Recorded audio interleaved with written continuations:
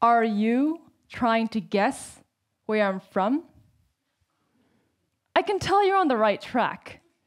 But here's the twist I was born in Hungary to Chinese parents and educated in the American school system, and now residing in Austria. Surprise!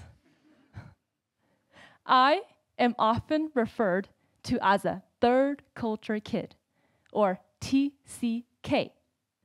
Third culture kids are byproducts of globalization. And with an increase in globalization and global mobility, very soon, either yourself, your partner, or even your kid may be a third culture kid. So, you might be thinking, what is a third culture kid? A TCK is a person who has spent a significant part of his or her developmental years outside the parents' cultures, as defined by David Pollock and my dear friend and mentor, Dr. Ruth Van Reken. At first glance, our background seems privileged, and I am not denying that. However, can you believe more work has been regarding our disadvantages?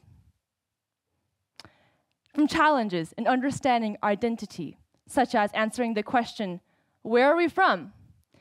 to unresolved grief due to the loss of a home, a country, and even our friends and family along the way.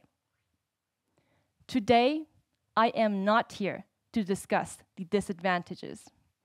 Rather, focusing on the advantages, what we all can learn from third culture kids.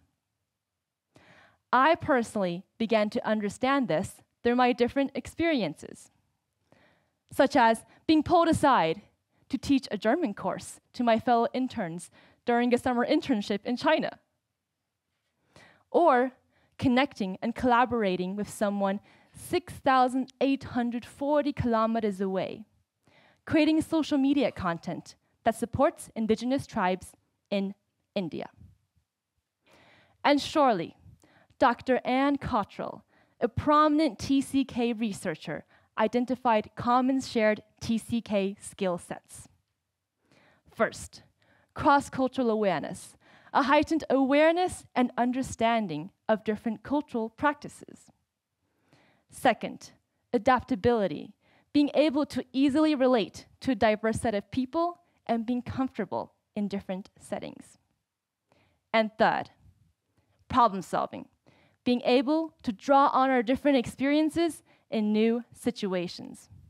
And if you ask me, I'd like to add one more skill to the list, and that is multilingualism, often being able to speak more than one language. Why, you might ask?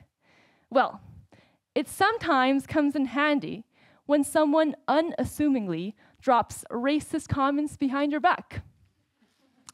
In such instances, you can turn around, look them in the eye, and respond in their language. Én beszélek magyarul, which means I speak Hungarian, leaving the person in total shock, confusion, and terror. However, in all seriousness, in a time of global unrest, torn by the impacts of the pandemic, war, and climate change. Global citizenship is imperative. The UN says global citizenship is about embracing social responsibility for the benefit of all societies, not just our own.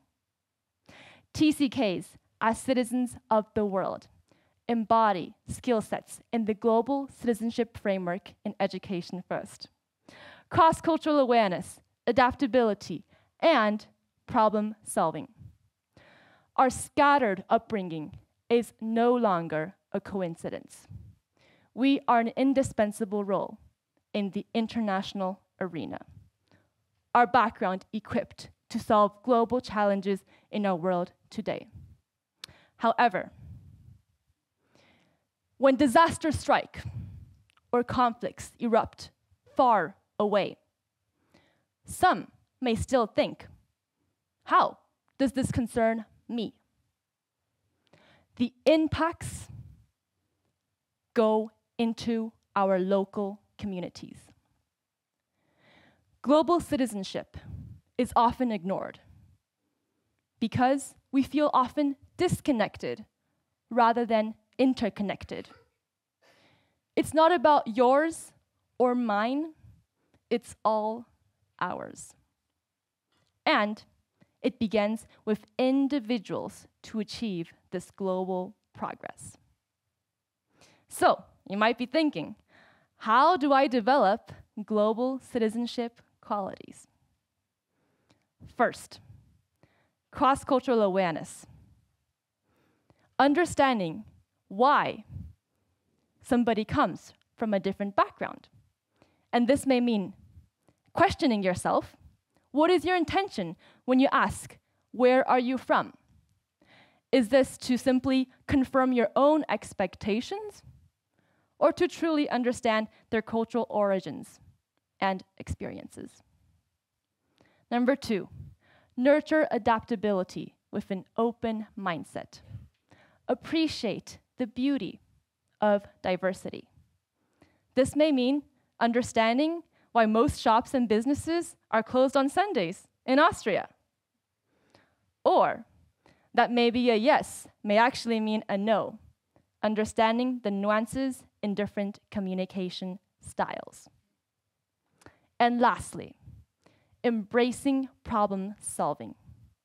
Letting life flow lead you to new experiences and solutions allow me to leave you with one final thought, and that is global citizenship is not a matter of yours or mine. It's all ours.